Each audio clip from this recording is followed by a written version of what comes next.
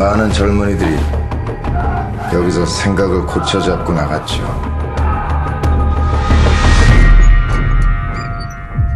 여기가 남영동입니까?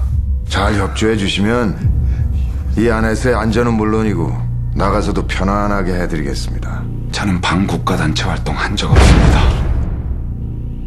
야, 잡아 올려. 잠깐만, 잠깐만, 잠깐만.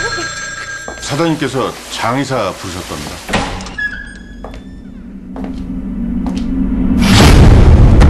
전 대한민국을 진심으로 사랑합니다. 공소 준비하죠. 무섭네. 덕분에 우리 모두 특진 대상자로 오를 것 같습니다.